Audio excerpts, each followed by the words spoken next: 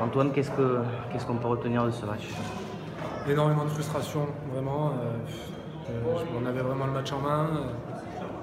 On était, on était bien défensivement, on arrivait à concrétiser les temps forts euh, par Lucas sur les trois points, on arrivait à marquer, enfin, voilà, on avait vraiment le match. Je, me suis, vraiment, ne s'est jamais senti aussi bien depuis le début de l'année, que ce soit domicile ou à l'extérieur.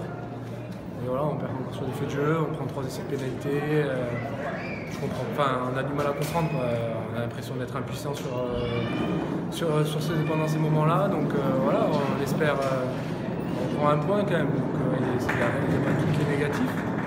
Mais euh, on va garder le positif, dire qu'on a réussi à construire notre jeu à l'extérieur, qu'on y a mis de l'envie euh, et qu'on a dominé cette équipe de Narbonne. Donc après, on, va, on va enchaîner le match, on va aller recevoir Massy, on va essayer de, de, remettre de la motivation et on va, gagner, on va tout faire pour gagner ce match qui est très important.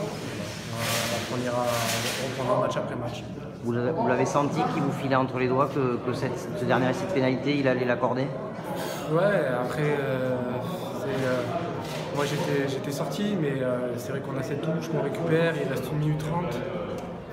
On est dans la précipitation, je pense qu'on a un, un chouïa d'expérience sur ce coup parce que si tu gardes le ballon, alors c'est pas dit que tu gagnes le match, mais si tu gardes le ballon, tu, vas jusqu'à la fin et tu sors le.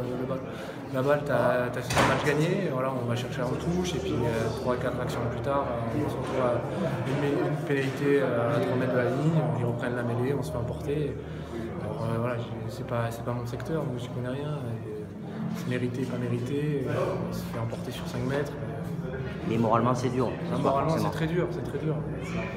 C'est très dur. Honnêtement, la pénalité, quoi. la dernière, on ne comprend pas trop. Euh, on, arrive à, on arrive à le maintenir euh, en haut et du coup, on pense que le match est fini. Bon, on, passe, euh, on passe par toutes les émotions en se disant que le match est peut-être gagné, et puis finalement, voilà, non.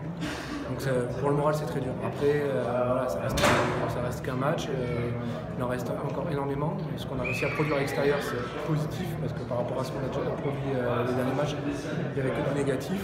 Et aujourd'hui, voilà, on part avec un point, même ce match, on le gagner 100 fois. Il faut qu'on continue à travailler, qu'on reste, sur, cette motivation qu'on a mis aujourd'hui. On, a, réussi à le gérer, donc on est capable de le reproduire chez n'importe quelle équipe. Voilà. Y ramener un maximum de points à chaque fois à l'extérieur.